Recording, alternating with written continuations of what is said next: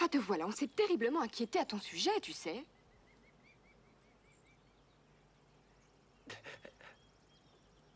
Merci, monsieur Rounet, de l'avoir ramené. Et toi, Ferris, tu vas m'obéir. Tu vas monter dans ta chambre et te mettre au lit.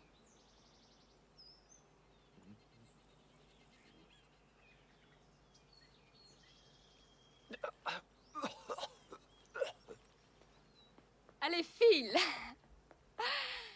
C'est terrible, malade comme il est, Ferris s'entête à revenir à pied de l'hôpital. Ah, c'est môme À propos, monsieur Rounet, vous avez oublié ça dans la cuisine par terre.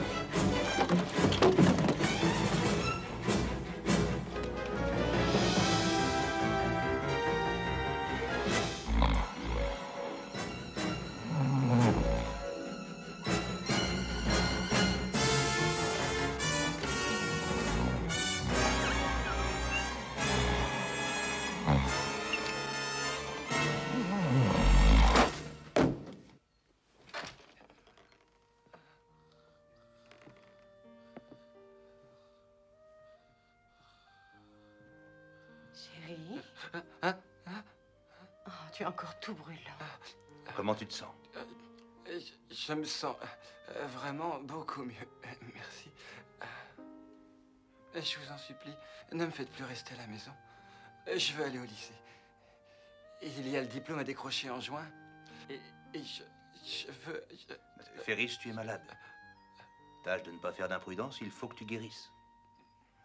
Papa, tu as peut-être raison. Je sais que j'ai raison. Comment tu fais pour être si mignon? Des années de pratique. Oh.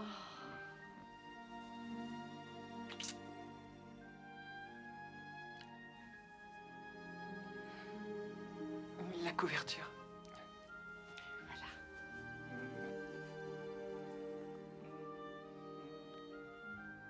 Très bien.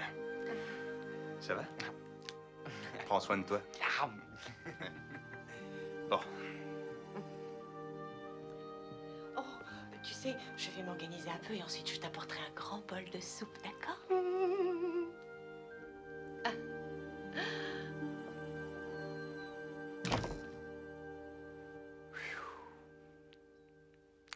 Ouais. Je l'ai déjà dit, mais je vais le dire encore et encore. La vie bouge bien trop vite. Si tu t'arrêtes pas de temps en temps, elle peut te filer entre les doigts. Mmh.